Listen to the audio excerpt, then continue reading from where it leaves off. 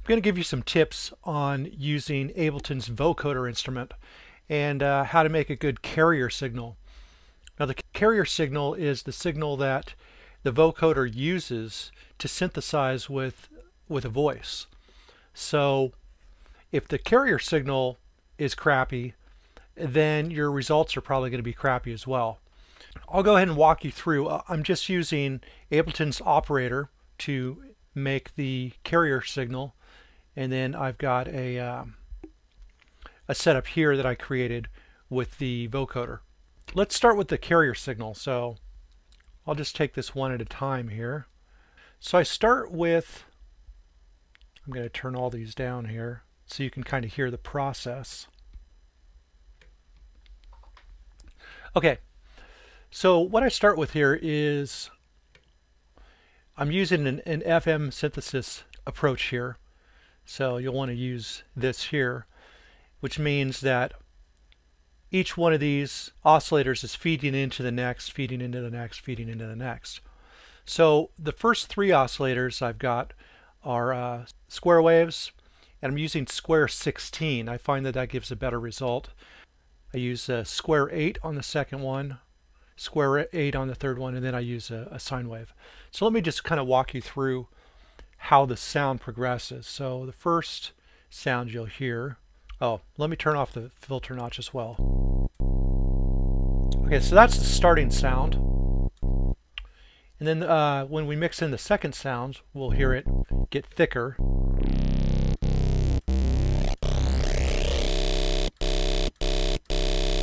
Brings out a lot more uh, frequencies and it just has a, a, hardness to it. And then uh, I add another square wave.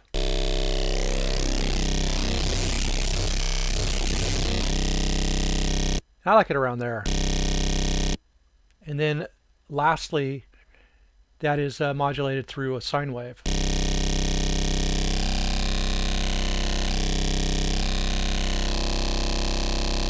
Okay, so that's the start of our sound. Now the next thing I want to do is add some saturator and I'm also going to uh, turn on the notch filter. And I, I put a 24 dB notch filter at about 1 dB. And you'll notice that I also do um, I cut out that 1 dB here as well. For me I feel it sounds better that way. But I made this macro setup so that you could tweak it however you want. But let's get some uh, here's the difference here I kind of like the warmth of that. That's just personal taste. And then the drive.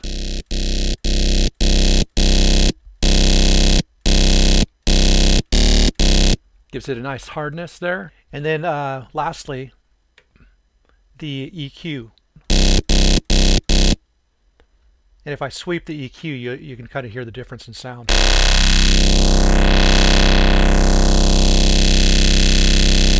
So that there is the our carrier signal.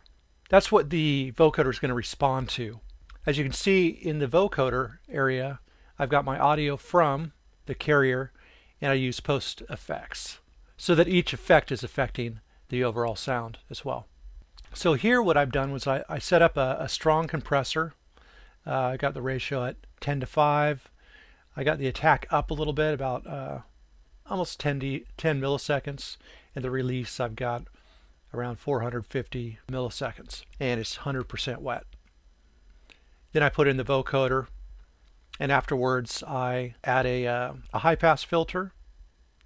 I duplicate the EQ and I just have uh, the low EQ so I can control the lows, which I feel with the vocoder getting strong lows can sound really good. And then I pump the sound up with uh, a limiter and a utility at the very end. This is the overall sound when I play something through it. So what I'm going to do is let me just copy a uh, some audio, an audio track. Here's the original sound that I've got here. And this I'm going to turn off this track here because we don't need the carrier signal actually playing through. In fact, I'm going to send this to uh, sends only. That'll take care of that. Check to the check to the check one two. Check to the check to the check one two. Okay, and that that's my uh, stupid little voice. And the thing about it is, uh, you don't want to do a voice that sounds like a robot. Don't try to make the robot voice when you're recording something. Just talk normally, or you know, try to have a hard sounding voice. You know, like like an announcer would, or something like that. So that's the dry sound. Check to the check to the check. One two. Let me just uh, play this here real quick. So I just have one note playing here. And usually if your carrier signal is strong enough, one note is uh, sometimes going to sound best. And this is what the sound will sound like uh, when it's completely vocoded.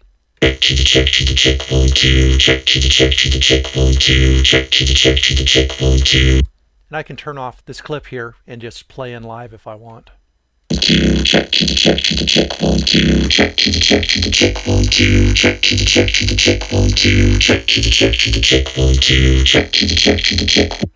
So that's got a nice solid voice with a lot of grit to it, which I, I like. And then I can mess with the carrier. So I'm going to just go back to playing from the carrier here. Check to the check to the check one two. Check to the check to the check one two. Check to the check. And if I mess with the carrier, we can change the tone of the sound. Check to the check to the check one two. Check to the check to the check one two. Check to the check to the check one two. Check to the check to the check one two. Check to the check to the check one two. Check to the check to the check one two. Check to the check to the check one two. Check to the check to the check one two. Check to the check to the check one two. Check to the check to the check one two. Check to the check to the check one, two, check check. So all kinds of fun stuff that we can do with these uh, macros that are set up. And then with the vocoder, I've got macros set up here as well. So I've got the low boost. Check to the check to the check one two. Check to the check to the check one two. Check to the check to the check one two. Really gives a lot of bottom end punch. Got the wet dry so you could hear some of the original if, if you want. Check to the check to the check one two check to the check to the check one two check to the check to the check one two check to the check to the check one two. Uh, formant shift. Check to the check to the check one two check to the check to the check one two envelope depth to the check to the check one two check to the check to the check one two check to the check to the check one two check to the check to the check one two check to the check to the check one two uh, gate threshold. This is actually really cool. As it cuts out the gate, you you can uh, really transform what the sound is.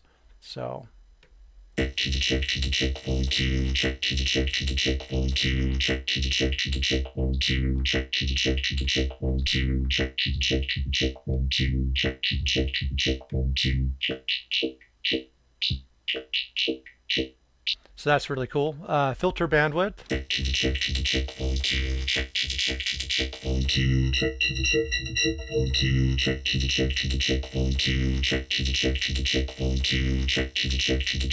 So this uh, this filter band here is this will cut out the lows, and this one here will cut out the highs. So.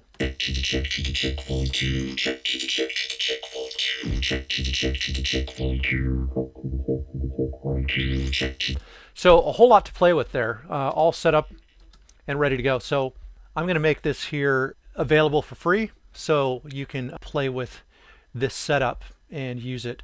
All you're going to need to do is uh, drag it into uh, a certain place on your hard drive instead of in the presets. So you could drag it in. There you go. Carrier project. And you can rename it whatever you want. But yeah, that's all you do, and then you'll be able to have access to this anytime. Basically, you just will grab this into your song, drag it in. And it's not going to have the clips. I'll get rid of the clips and everything so you can, um, you know, work on your own stuff. All right, so I hope that gives you a, a cool little walkthrough of a vocoder.